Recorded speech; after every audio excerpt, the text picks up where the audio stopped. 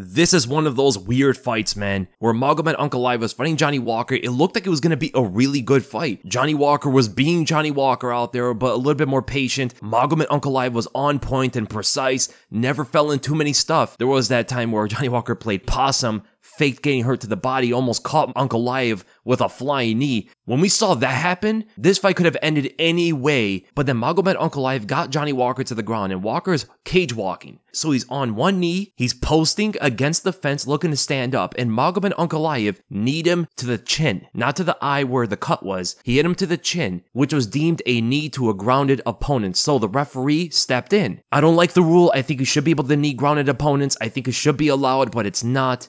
Right away, it looks like Johnny Walker is alright. It looks like he's not hurt. He's even like talking to Magomed Ankalaev after the knee landed. He looked like he's completely okay. Then the doctor comes in. And mind you, this is the same doctor that came in before on the prelims who stopped the fight by no contest, but he thought the guy who got low blowed, Victor Henry, was good to continue when he obviously was not at all. That guy was in pain. Now we have the opposite reaction. Johnny Walker looks like he's fine. He's ready to fight. But the thing is, the doctor called it off. And the reason why he called it off was because Johnny Walker did not answer his questions. He didn't answer incorrectly, he just didn't answer them. So the doctor asks him, What country is this? Johnny Walker didn't give any response. He looked confused completely when the fight wasn't continued.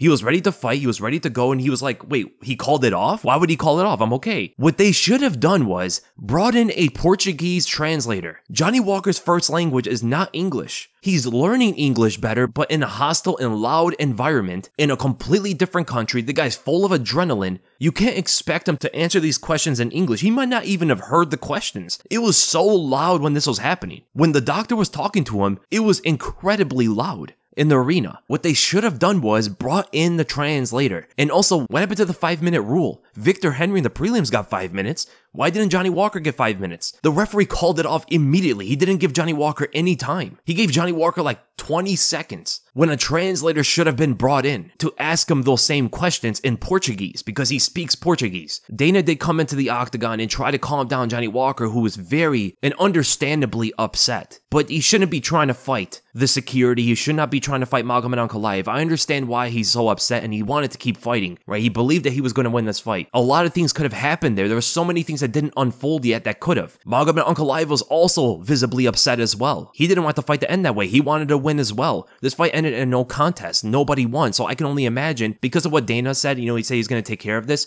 I can only imagine they're going to have the rematch. Deservingly so. They should have the rematch. And next time, just in case, if the doctor has to step in again, they should bring in a translator, whether it's for Johnny Walker, bring in someone who speaks Portuguese to him, or if it's Magomed Ankalaev, bring in someone who speaks Russian. Because you can't just expect these guys to understand a different language that they're learning to be able to speak it and answer questions in a loud environment full of adrenaline. I'm pretty sure Magomed Ankalaev and Johnny Walker would even know how to say their name in English while the fight is going down. Just a horrible scenario. Very bad job by the ref. Very bad job by the doctor. I can understand from his perspective that Walker did not answer his questions and that would usually deem that the fighter is too hurt to continue.